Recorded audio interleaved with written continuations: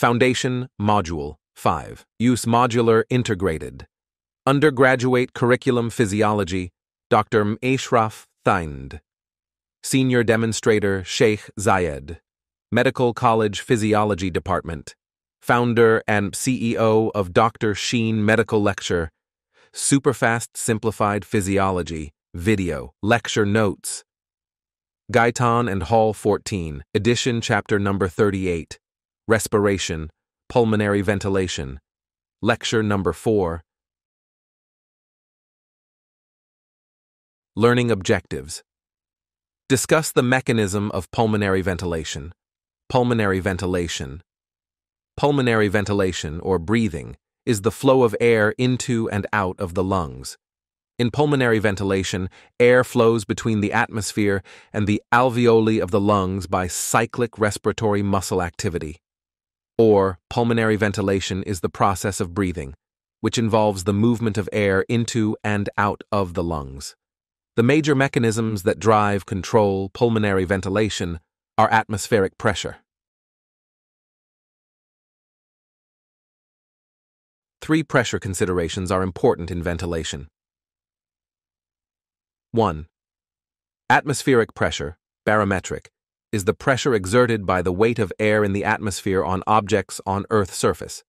At sea level, it equals 760 millimeter mercury. Atmospheric pressure decreases with increasing altitude above sea level as the layer of air above Earth's surface correspondingly decreases in thickness.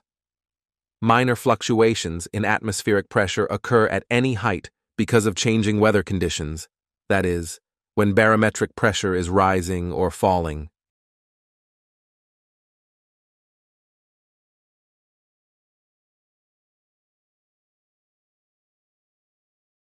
Two alveolar pressure. Air pressure inside the lung alveoli. When the glottis, the part of the larynx, it consists of true vocal cords responsible for the production of sound, is open and no air is flowing into or out of the lungs. The pressure in all parts of the respiratory tree, to the alveoli, are equal to atmospheric pressure, which is considered zero, that is, zero, zero centimeter water pressure.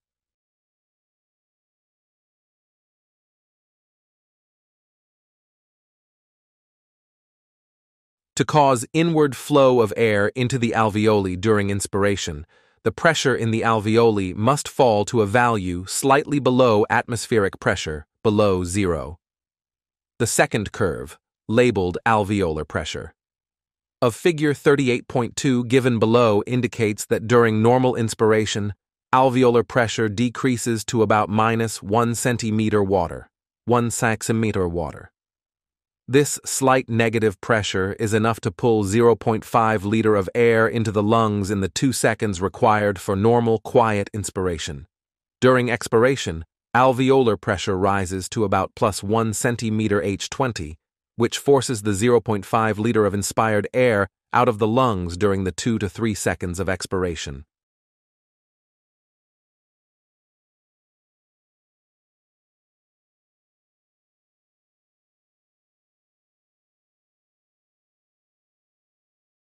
3.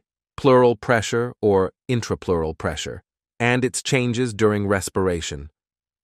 Pleural pressure is the pressure of the fluid in the thin space between the lung, pleura, and chest wall pleura. This pressure is normally a slightly negative pressure. The normal pleural pressure at the beginning of inspiration is about minus 5 centimeter of water, which is the amount of suction required to hold the lungs open to their resting level. During normal inspiration, expansion of the chest cage pulls with the greater force and creates more negative pressure to an average of about 7.5 centimeter H2O outward. In the lower panel, figure 38.2 shows the increasing negativity of the pleural pressure from minus 5 to minus 7.5 centimeter water during inspiration, and in the upper panel, an increase in lung volume of 0.5 liter 500 milliliter. Then, during expiration, the events are essentially reversed. Like and share Dr. Sheen Medical Lectures.